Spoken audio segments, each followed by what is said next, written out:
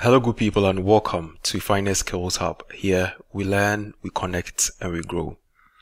One of the most important principles in designing dashboards is to make it easy for your user to focus on what matters. By doing this, you need to mute or reduce any noise or element that is likely to distract your user. In this short video, we'll look at an example of an actual and target dashboard where we just visualize what matters, whether we're able to achieve the target or not, and also spot any positive and negative variance. So join me in Excel and let's go through this in a few minutes.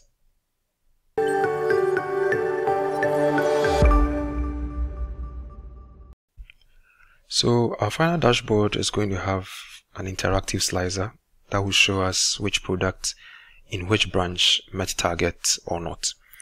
We are going to start off with our food data, we do our calculations and then do our dashboard in a few minutes.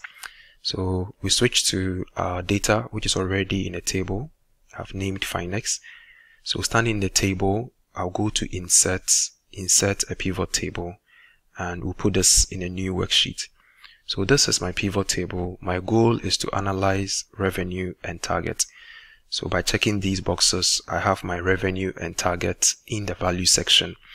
I want to see this by canteen or in this case branch. So when I put canteen in rows, I'm able to slice this and analyze by revenue or target. I can double click the header and if it helps, I'm going to name this actual and also double click this and then name this target with a space because there's already a target here. So this is my actual and my target. So with this laid out, our goal is to mirror our content, the content of our pivot table to make it easier for our calculations and visualization. When you create a pivot table, you have two options, analyze and design.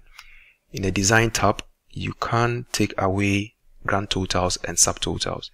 So for our purpose, we are going to take away our grand totals and then we stand in here, putting an equal to and then select our pivot table. The assumption here is that this is not going to grow. So once I do this, I'm able to reference the entire pivot table. I can highlight this Alt HOI to auto fit so that I can see the entire layout. Now in our calculation, we are going to have those who were able to hit the target and those who missed the target and calculate the variance for both. So I'm going to have a column for hits, variance,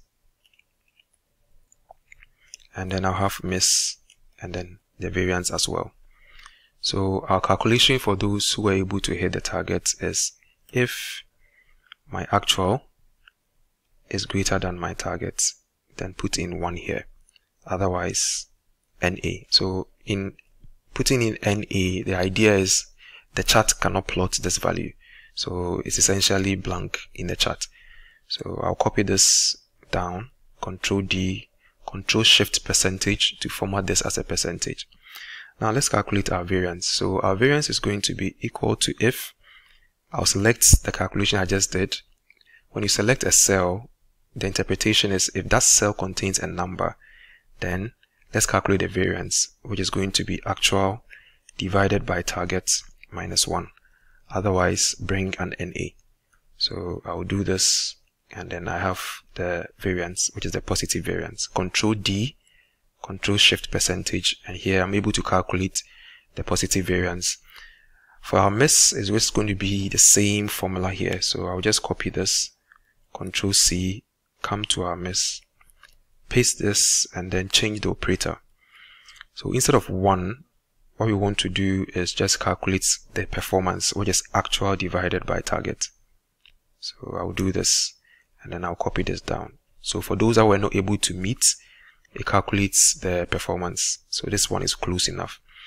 Now the variance for those who missed is going to be 1 minus the miscalculation and then we'll copy this down.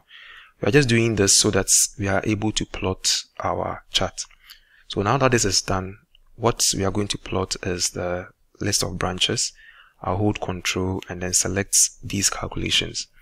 I'll go to insert and then in the chart area I'll launch this and I'm able to see all my charts here. We are going to use a stacked column chart this one. And then I'll click OK. So this is my chart we are going to format this very soon. Now to make us see that 100% mark I can introduce another series here and then fill this with 100% so control D control shift percentage in charting you can actually copy that series control C and then paste it on the chart so it's just like adding a series. But when we do this we need to go convert this into a combo chart so I'll go back to my chart design change chart type and then go to combo. Okay and then I'm going to switch this to a stacked column chart which we started with. The variance is also going to be a stacked column chart but our mark is going to be a line which I'm going to plot in the secondary axis. Okay then I'll click OK. So this is going to be our chart. The next thing I'm going to do is to insert a slicer in our pivot table. So you can do that standing in here or the field you want to insert a chart on in this case food. I can right click and then add this as a slicer. So these are the two objects I'm going to use in our visualization. I'll hold this control control cut this and then insert a new worksheet which is going to be my dashboard. So before we do that I need to go into my dark mode which is basically selecting the whole background come here and then fill this in black. And then I'll invert my font and make this white. So over here I'll paste my two elements. So I have my chart on one side and then I have my slicer on the other side. So let's work on our chart I'll select my chart go to format and then in shape fill I'll choose no fill. And then I'll take off some elements here. So my chart title will go away. My grid lines will go away. I'll take this one. Anything you want to format in the chart you can select that part press ctrl 1 and then for this purpose this is not going to have a fill. So I'll choose no fill. Same for the other series is also going to have a no fill the reason we are doing this is to just plot or visualize the variance. Okay so we now have our line and then our variance. To make it easy let's select one of okay so when we select this this is going to be a negative variance. So I'll select this control 1 and then I'll come to the fill series solid fill and then make this red. Okay so that is going to be our negative variance. And then let me choose one that will bring a positive variance control 1 and I'll choose a green for this purpose. So I have something like this. Now because we want an equal space on top of the 100% and then below I'm going to take this axis to my right control 1 and then my minimum is going to be 0 and I'm going to double this one. So I'll put in 2 so I have the same spacing on top and then down.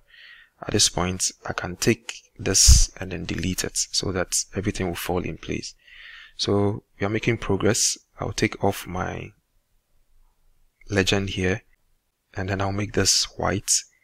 Select this series and also make this white as well. So that is our chart. If it helps you can go to format and then take off the outline. Okay so now let's put in our data label.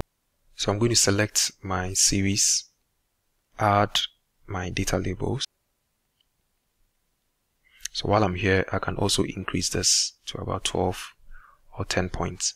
And then I'll do same for my red points. So again my data label and then I'll select and then increase this by about some two points same as the green and then I'm going to make this white. Okay so that's is for our chart. So we now realize that when I select any products I'm now able to focus on the positive and negative variance now let's bring in our data sets. So standing in here I press equal to go here and then select my canteen all the way to my target. It's going to spill. I will just alt HOI to auto fit and then format these numbers. Control shift 1 I'm going to put in border lines so I'll highlight this. Go to home. And I'm able to change my color to white.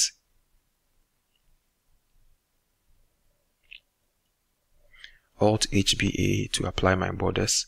And then if you like you can paint the headers in a slightly gray format and then make this black.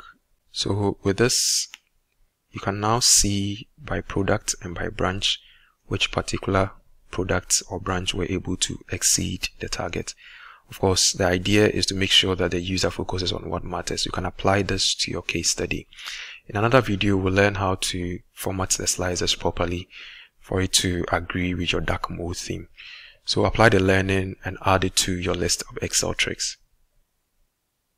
For more of these short videos, you can send ad to this WhatsApp number. We'll add you to our broadcast list. All our videos are sent to you directly on your phone.